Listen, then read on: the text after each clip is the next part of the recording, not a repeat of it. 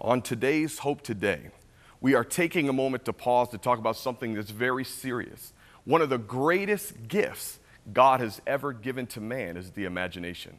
How has social media played a role in shaping our imagination? And how does God want to use the platform of social media and our imagination to make our generation the greatest generation ever to walk the face of the earth? All that and more on today's Hope Today.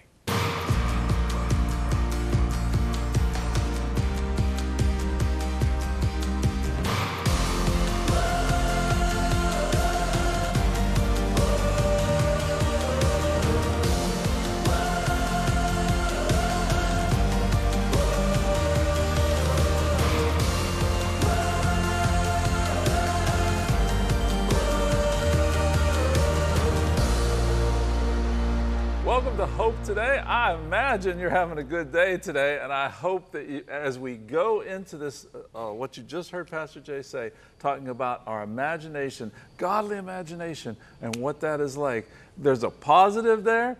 Pastor Jay, there also can be a negative. There can be, you know, the imagination is deals in the realm of the unseen. Do you realize, ladies and gentlemen, that the imagination is one of the greatest things that God has ever given to us? But it can be used for bad and it can be used for good. You know, Tom, I even think about uh, fear and faith. They both deal Right. in that arena of the imagination. Yeah. And how we shape that, whether it's through media, through knowledge, through the Word of God, all determines on how we use that. And our imagination creates our world around us. Well, it's really true, and you know, th- this is uh, this is tied into what's going on in, in my family's life. Is this is Henry, my grandson, his first day of kindergarten, first day stepping out, Pastor Jay, into the wider world, Yeah. right? Into that, that you know, of course, he went to like a preschool, but this is this is this is like really getting out there to where all kinds of influencers are going to come his way, and this is the generation that has media like just poured into them from all different places. Henry can work his way around, uh, you know, the, the, the videos he wants to see with supervision on YouTube and everything. He's, he's like, you know, they're good at that stuff. You know, it's amazing how this generation is that way. My son, I have an eight and a six year old. They're in school right now, and it's amazing on how they do. They navigate through that. They'll go to my wife and say, Let me show you how to fix the computer and how to tap, like you said, the Roku and how to tap in. They're, I mean, just messing with everything. That's the imagination that they have. God, see, it's not a curse to have this technology. Right. It's, it's the platform itself. I want everybody to hear this. This is important. The platform of social media, the platform of Roku, the platform of Facebook and Twitter, they're not bad. It is what is being presented that we must be aware of, Tom. And our kids are being influenced by that. Absolutely. And of course, you know, the dark side of this is pornography and things that, that so many people struggle with, so many that have been captured. We, we've heard different statistics of how that's in the church. And those things need to be, well, look, those, our phones aren't going away, our computers aren't going away. We as Christians need to be able to handle this, to understand how to have a godly use of these things. We're going to be talking about that today. As, as we go into this, though, I want to remind you that we have prayer partners standing by. There's always prayer partners available. The number's there on your screen. You can pray with them. Maybe you know someone who's struggling. Maybe you have a child going to school and you're wondering, okay, they're going to public school. All they've ever known is church. Now they're going to public school. What, what, is, what is it going to be for them? What kind of influences are going to be their way? You know, there, there's so much that can, that c- we can't retreat from the world, Pastor Jay. We're going to live in the world, but we have to be able to use everything in a godly way. Well, you know, I think the scripture comes to mind, you know, he's always praying, and I want y'all to know we've bathed this time in prayer, and I believe that today what we're discussing is really going to be a benefit to you. If you have children, grandchildren, uh, maybe you're a man or woman, it affects all of us. We are in, you know, you can't be Fred Flintstone no more. You know, you can't be pedaling around with your feet. This is a different generation. But this is what, to your response, Tom, uh, the Bible says where sin abounds, grace does that much more abound. And I'm sensing in my spirit today, for many of you that are battling with technology, many of us are addicted to our phones. We're trying to figure out how do we navigate through this social media. I sense right now that there is an elevation of grace in the midst of this thing. God wants us to be able to manage it. He wants us to be able to use it for a platform to preach the gospel, but He doesn't want the culture to influence us. We need to be influencing the culture, and that's where His grace comes into play. You know, uh, it's interesting. I saw a video where someone was talking about how you shouldn't talk to someone like this. Don't talk to them like, hey, can we have a few minutes together? Let's just talk. I want to talk to you about something. Don't talk to them like this because it's, it's sort of saying, hey, this right here is more important than my time with you because if I get a call here, I'm going to stop talking to you. You know what I mean? Mm-hmm, or, or mm-hmm. even to put it down on, like right now, my light, my screen came on. I don't know why my screen came on, but I, I got a show to do here with Pastor Jay. I'm not going to check my screen. But if we set it, even when we're saying, hey, let's have, let's have a, a discussion about something, say it's related to work or anything, if, if it's laying there, that's, that's an interrupter. So we have really to is. know how to put that, put that away and say, now tell me, tell me what's going on. You know what I mean? We have yeah. to have that, that uh, you know, that, that ability to, to lock down things that are distractions, because distractions is a big part of this age. You know, Tom, I'm, I'm looking today, and like you have your Bible here, and I don't know if y'all can see it or not, but he has a Bible here on this platform. Uh, what happened to books? You know, I mean, I'm, I'm not against Kindle and all those things, but there's something about highlighting and writing in a book. Absolutely. You know, there's something about getting into those scriptures and into those pages. And a lot of time we use that phone for everything. I wonder if every once in a while, if we should fast our media. Yeah. I mean, as a church, even to get back into the scriptures, to, to dig back into the word, that we don't allow social media. Because listen, you can't allow YouTube and, Facebook to become the only truth you receive. Now, let me say this nothing wrong with being on YouTube, nothing wrong with being on Facebook, but be careful that that, does not, that is not the only tool that you use to shape your truth.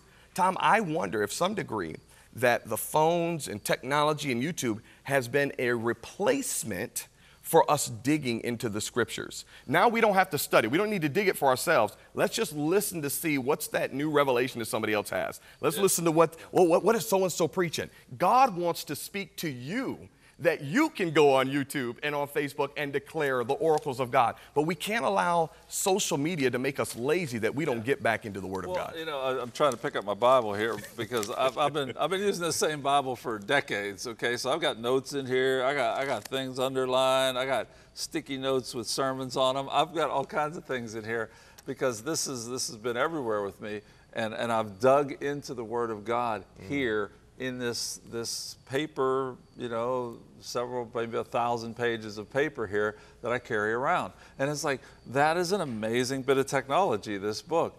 Now, so many people, it's on their phone, and that's perfectly fine, however you read the Word of God. Amen. But there is something about what yeah. Pastor Jay just said about getting into the Word of God, having it. I just read a note today uh, because I put dates, started putting dates on my notes a few years back.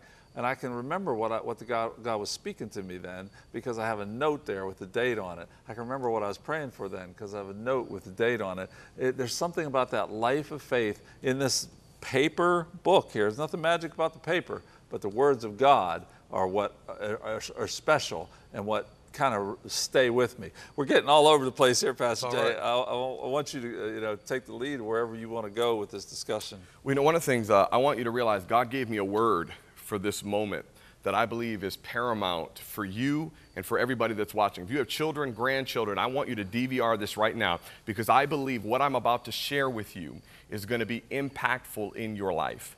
And I believe that this is the Daniel generation. This is the imagination generation. God wants it. Watch this. Are you ready? I hope you are because I believe God's got something very special. Don't you be discouraged about where your grandchildren are. Don't you be discouraged about where your children are. God is getting ready to use them in a way that is going to blow your mind. But the devil wants to use the social media platform YouTube, Facebook, Twitter, Snapchat, all the other things, TikTok, and all those things. For what reason? Watch this to unsanctify their imagination. You know what's amazing in the story of Daniel, Tom, when we read through I think every believer should read through the book of Daniel in this season and study it. I believe it is paramount that we study the life of Daniel because that's where we are as a church. Right. We see the story of Nebuchadnezzar, and he builds this huge image and tells everybody to bow down and to worship it.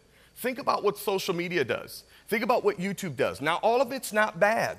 But we have to be discerning on what is good and what's not good. We got to be discerning on what our kids are watching and what we're watching and what we allow to influence our imagination because out of our imagination is our creative ability. And if it's influenced by things that are negative, by pornography, by sexual things, by gambling, and all sorts of untruths, but not bathed in the Word of God, the devil wants to pervert the minds of the young people because they are going to be the Daniels of this generation.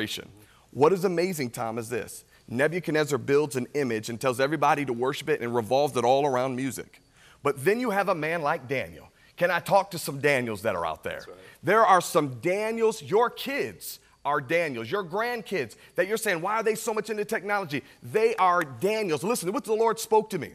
He said, This is the generation that I am unlocking their imagination for such a time as this. He told Daniel at the end of the Bible, or the end of the book, he said, uh, Lock these things up until the time. I'm prophetically declaring to you this is the time that God is unlocking the imagination, and right. the devil wants to come in with media to pervert that. Why? Notice this, Tom.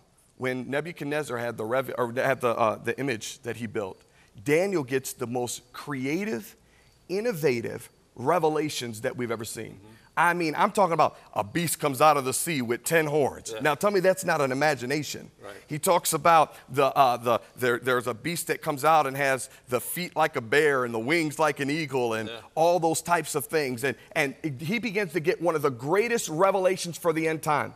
I believe we need to be careful. And the reason why we're doing this show like this is because we need to be on guard, Tom, to make sure we're protecting our imagination. Because I believe this generation, Henry, my sons yeah. are going to be the greatest innovators and creative people. But we cannot allow what's happening in social media to influence their thinking in a negative facet.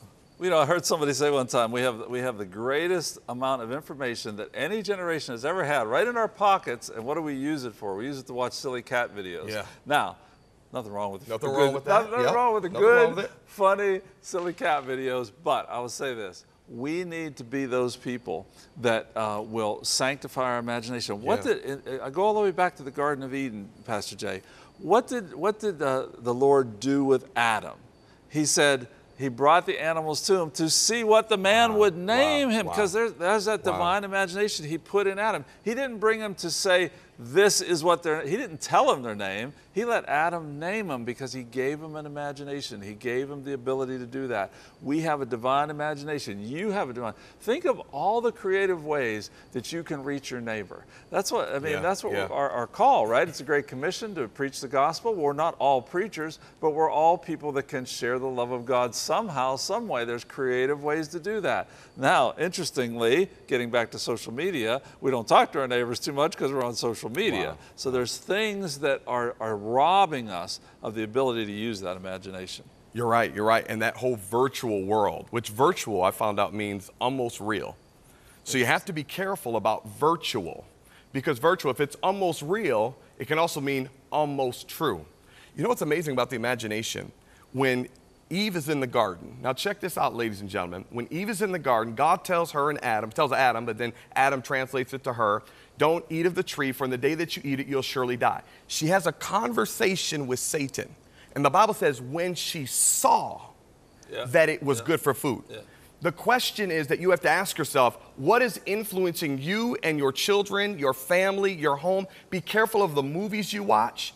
Be careful of what you're letting into your house. Why? Because what you will let into your mind through this imagery that's happening on Facebook and media and Twitter is going to shape your belief systems. When she listened to Satan, she began to see what God called good or evil good. And what does the Bible say? That in the end times, Tom, they would call good evil and evil good. Well, it's happening like crazy. And we can all think about the way that different different social media things have affected us. All you have to do is go to politics and you go on this yeah. social media, everybody's saying this, you go on this social media, everybody's saying that. There's all kinds of things that, that are happening. Nobody's sharing, like, I, I wonder sometimes, Jay, what happened to the, the love of God sometimes in, in Christians when they, mm-hmm. they get into politics and they, they start sharing all kinds of kind of hurtful things really just because it's, it's towards the other side or what they deem the ungodly side We need to be the people of God, have the character of God, whether we're online, face to face, on the telephone, what we watch. We have to have the character of God in all those things. God wants to build inside of us the, the, His character. And you know what? It's not always there. It's a lot of times it's a battle to have the, the right attitudes towards someone that, that harmed us, to right, have the right attitudes towards someone that's from a group we don't like. We have to be the people of God and show the love of God in all situations. And He's trying to build that inside of us. What happens with social media is it desensitizes us. Look, pornography desensitizes Yes. that other person. Yeah. It's, it's uh, now it's, it's like that person's a drug or something that you're using. But social media can do that just to someone you disagree with. It can desensitize you completely and to where that person becomes a caricature rather than a real person. And you know, you mentioned about social media and about dealing with people. You know, we have to understand that we need relationships in this day now. Even thinking about overcoming pornography and things along that line, we need relationships in order to keep us accountable. You know, these are these are tough topics to discuss, ladies and gentlemen. These are difficult situations, but they are what we're all facing in this day and in this hour. And I believe that God wants to do something in the minds of his people in this season. I believe it's time to return back to the word. I believe it's time to return back to family Bible studies.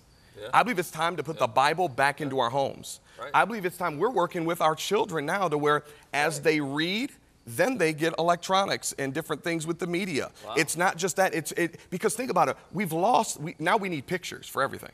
Mm-hmm. Why? Because we've lost the ability to exercise imagination, to take a book like this and to read through it and allow our minds to begin, the imagination, allow God to speak to our minds versus allowing just everything in media to activate it. Let me tell you this God wants to speak to you and to your children through dreams, through visions, but it is important that you have your imagination sanctified in this day and in this hour. God wants to speak to you. Did you hear me? Through dreams. Expect your children to have dreams. Expect your grandchildren to have dreams. Read the Bible with them before they go to bed. Be careful of how they what you uh, what they're watching and monitoring those things. And let me say this as well. We're going to talk about this in just a moment. We're going to talk about how to be able to maintain those things, put th- putting things in place to watch what they're doing on media, and even for yourself to make sure also, Tom, that that is not a replacement for our walk with God and that brokenness within us, we're trying to feed it through media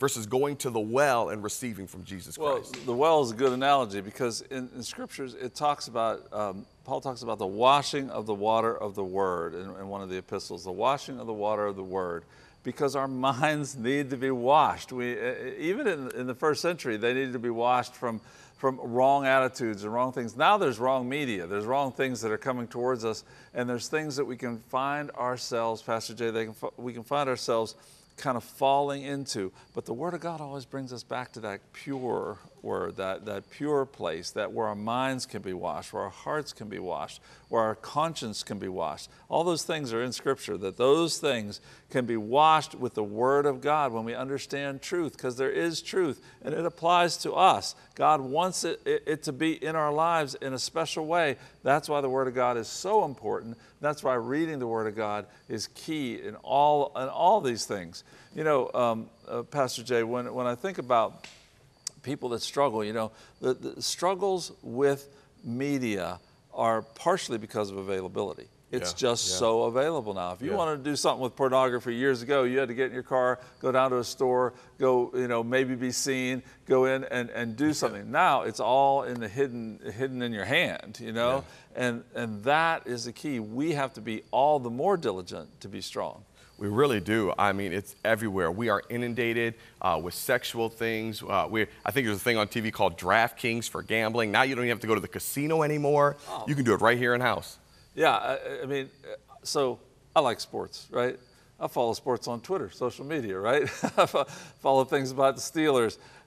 There are things that come up all the time, all the time to gamble. Like, and you know, I don't have have any desire to gamble, but if someone was struggling with that, Yeah, yeah. think of all those things where that's like a drug to somebody where and it's right there all the time so you have to be careful in what you're doing. Now, we're going to take a, a, a quick break. We're going to have a scripture and a time of ministry coming out of this because this is, we've had a discussion so far. We want to bring it down to what are the things that God is speaking to you about.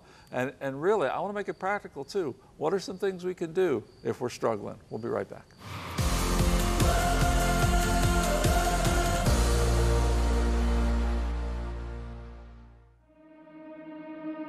Anyone can make predictions about the future, but what God says is what matters.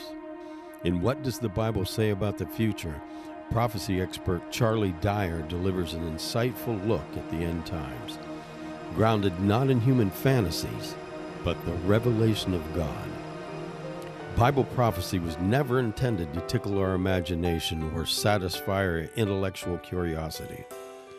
God wants you to know about the end times so you can be confident in His eternal purposes. With a biblical understanding of the future, you'll be powerfully equipped to live with faith and hope today.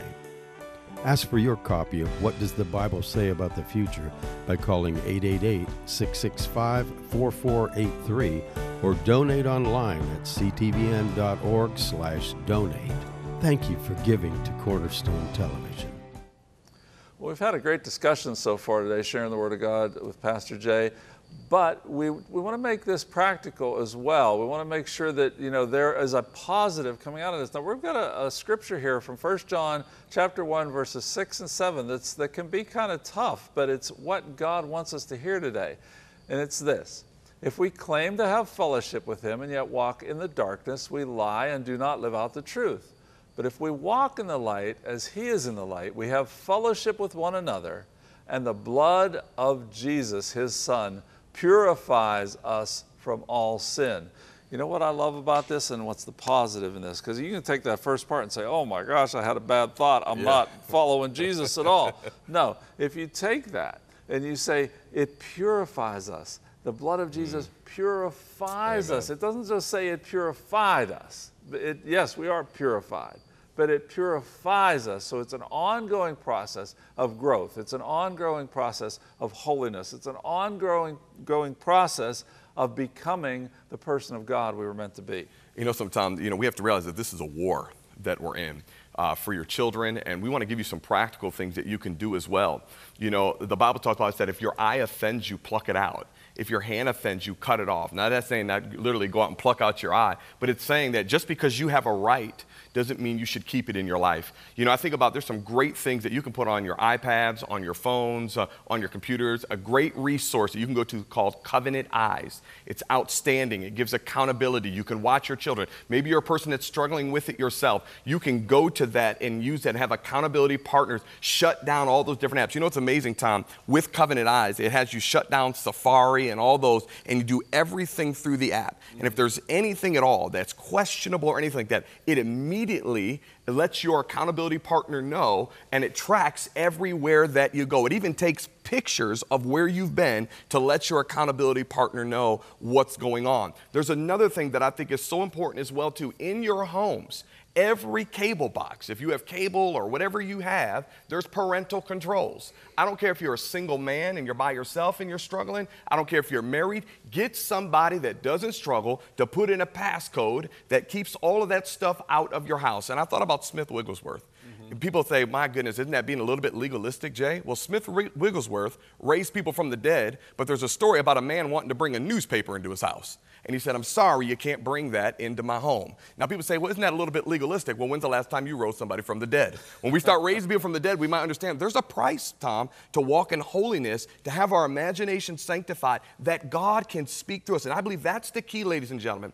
God wants to, us to sanctify our imagination, be careful of what comes into media, through the media, into our minds, because He wants to speak revelation through the light of His Word into our lives that will help bring in in the end time harvest, see our souls saved, see us walk right. in holiness and in the blessing of God. Well, I think you said some really key things, Jay, is that, that we need to, first of all, if we're going to be the people of God, we need to do the things that are the basic things of, of Christianity. We need to walk with the Lord. We need to read the scriptures. We need to pray. We need to be in fellowship with, with one another. Those are all important things. They're the foundation of following after Christ. Now, There's a few practical things you can do as well. If you're struggling with pornography, you need to have an accountability partner at least. That's the first level where you're humble. See, humility, Satan doesn't understand humility. I always th- love that, Pastor Jay.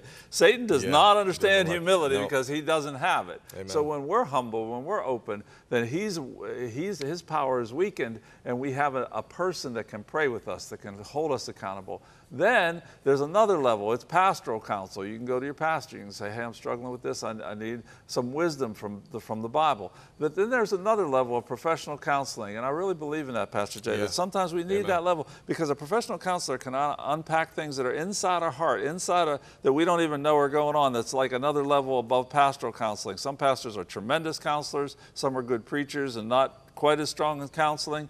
But we need to be uh, uh, have those levels in our life so we can achieve victory. Amen. And then when we find out what's broken, we can come back to the Word of God, Yeah. find out how to find wholeness from that instead of those other things. Ladies and gentlemen, it is so vital that we get all of this under control today because I believe this is the good news. There's so much more that God wants to speak to us, Tom. There's so much more He wants to bring into our lives. I believe He wants to unlock His Word in our children. I think He wants to see moves of God in our schools, but I think we have to be careful of what we're allowing into our minds so God can sanctify that imagination and use it to create out of the unseen realm into the realm and see powerful things happen like in the days of Daniel. And imagination, think of what it is used for. It's not just to write stories and to create, you know, uh, you know, movies or whatever. It is uh, wherever you work, whatever you're Amen. called to. Your imagination, God can drop things in there when you're in tune with Him. He Mm. can drop things in that are like, "Lo- Lord, help me to solve this problem from a factory that I work in. Help me to solve this problem from, if you're a policeman, help me to solve this problem on the, on the force here. Help me to solve this problem here or there. Those creative things can come to us. Pastor Jay, I just want to take a moment. Will you Yeah. just pray with the people out there for, for this, that their imaginations will be sanctified? We have- just have a minute. Father, thank you today for this wonderful time. And I just want you to lay your hands on your mind right where you are. Father, I thank you today that our minds are sanctified, our imaginations are sanctified, that your grace is coming alive in us, oh God, that your word is going to come alive, that we are going to have wisdom on how to navigate social media and all the things that are going on, that you can begin to speak to us in a supernatural way. Father, I pray for every family member. I pray for parents that are pouring into their children as well, Father. Bless them and give them all wisdom. And we thank you for it now. In Jesus' name, amen. Amen. Amen. Such an important discussion. Of course, the most important discussion is do you know Jesus? Do you, are you one that has started that journey? Maybe it, it, uh, you you hear us talk about where sometimes it's, it's a difficult journey, and it is. But it's the journey we all need to take. If you've never accepted Jesus Christ, just open your heart right now. Open the door of your life and say, Come into my life. Forgive me of my sins. Be my Lord and Savior. And He will respond to that. And you're going to find the purpose in life. And you know what else? You're going to find hope today. On tomorrow's Hope Today, rise up and get equipped with prophetic revival tools. Ordained minister and author Annette Capps encourages every believer to be knowledgeable and practiced in the gift of prophecy so you can take your place in the coming revival. That's tomorrow on Hope Today.